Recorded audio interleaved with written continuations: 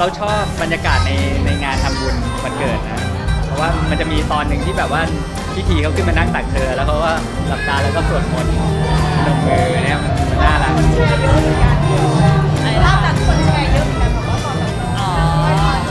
ใช่เขาเขาถามออยว่าพระสับหลับตาทำไมออยก็บอกว่าหลับตาจะได้มีสมาธิไงลูกแล้วก็สวดมนต์ให้พิธีฟังไงพี่ออยก็บอกว่าพิธีลองหลับตาดูสิแล้วพนม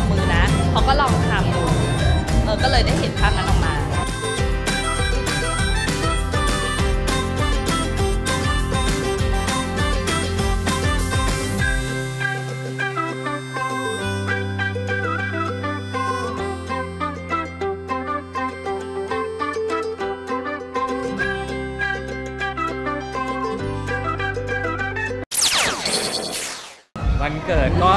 ดีนะครับ ก็มีคนมาจริงๆเราทำบุญทุกปีอยู่แล้วแหละวันเกิดแล้วก็ไปวัดที่เราคุ้นเคยนะครับอ่า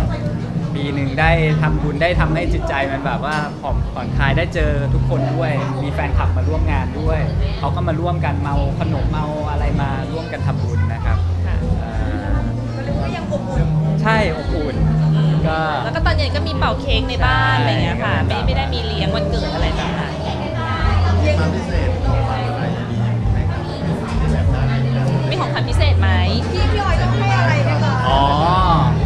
จริงๆเขาก็เขาก็บอกว่าเขาจะให้เหมือนกัน คือออยเป็นคนเตรียมจัดงานทำบุญที่วัด แล้วก็เตรียมไปเตรียมมาจนแบบคืนวันที่ 17 รู้สึกว่าเฮ้ยฉันยังไม่ได้มีของขวัญวันเกิดเลยทำยังไงดีอย่างเงี้ยก็ไลน์คุยกับน้องสาว น้องสาวออยก็จะเป็นแบบว่าเป็นทุกอย่างให้ออยแล้วแหละ เป็นทั้งสไตลิสต์ เป็นทั้งแบบ เป็นจัดแสดงจัดซื้อหรืออะไรอย่างเงี้ย ออยก็คุยกับน้องสาว ก็คุยกันสองคนแล้วก็รู้สึกว่าถ้าซื้อมาแล้วเขาไม่ยอมใช้นี้มันจะมันจะไม่ได้นะใช่ก็เลยก็เลยเอารูปให้ดูเลยว่ามาชอบถามไหมเลยชอบไหมอะไรอย่างเงี้ยก็ตอนนี้ยังไม่ได้อะครับ รออยู่ค่ะรออยู่รออยู่รออยู่รอของก็ถือว่าเซอร์ไพรส์แต่จริงๆเราเราชอบบรรยากาศในในงานทำบุญวันเกิดนะเพราะว่ามันจะมีตอนหนึ่งที่แบบว่าพิธีเขาขึ้นมานั่งตักเธอ แล้วเขาก็หลับตาแล้วก็สวดมนต์นมมือเนี่ยมันมันน่ารัก